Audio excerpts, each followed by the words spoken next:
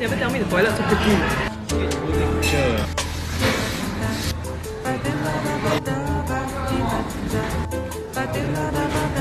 i not the only one.